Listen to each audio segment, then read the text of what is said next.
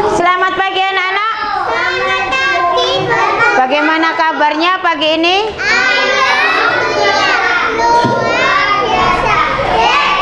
Ya, anak-anakku sekalian, kemarin kita belajar mengenai kegiatan di sore hari. Coba dibuka bukunya.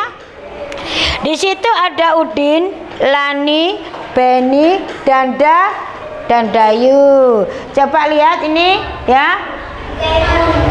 Layang-layang Udin, Lani, Beni, dan Dayu. Ya, coba dilihat dulu. Iya, ada ekornya ya anak-anakku. Coba dari hasil pengamatan kalian ya, yang ditanyakan layang-layang siapa yang paling tinggi? Iya. Coba Fami. Iya.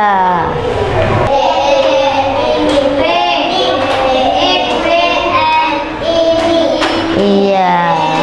Tepuk tangan untuk Fami. Ditanyakan layang-layang siapa yang paling rendah? Iya, Eka.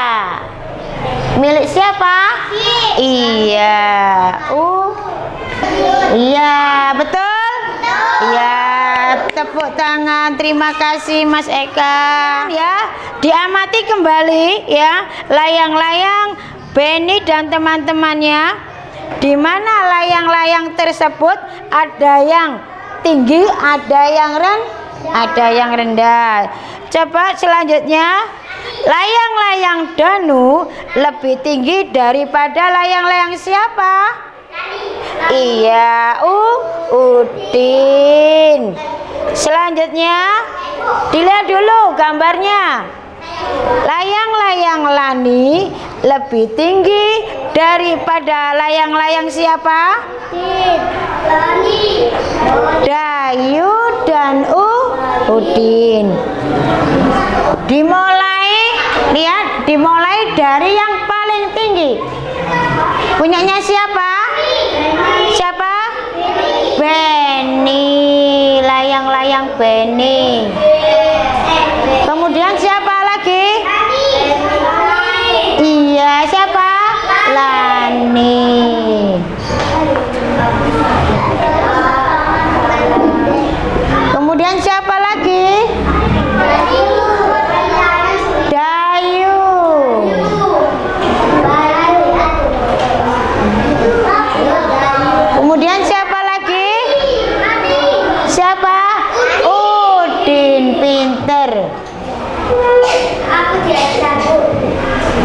Ya. Urutkan layang-layang dari yang paling tinggi. Lihat ya. Yang paling tinggi punya siapa? Beni. Kemudian Lani. Kemudian Dayu. Kemudian Udin. Ya.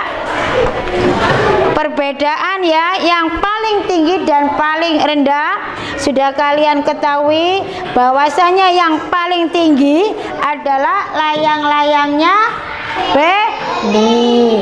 Yang paling rendah layang-layangnya Udin ya. Sedangkan kalau kita urutkan layang-layang yang paling tinggi adalah miliknya B Beni. Lalu siapa?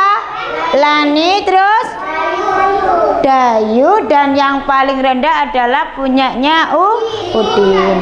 Anak-anakku sekalian ya, untuk pelajaran membandingkan ya antara yang lebih tinggi dan paling ren rendah dengan pengamatan gambar layang lah layang ya bermain di sore hari sangat menyenangkan karena udaranya sangat sejuk dan nyaman.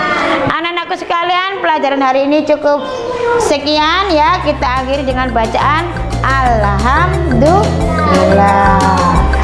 Assalamualaikum warahmatullahi wabarakatuh.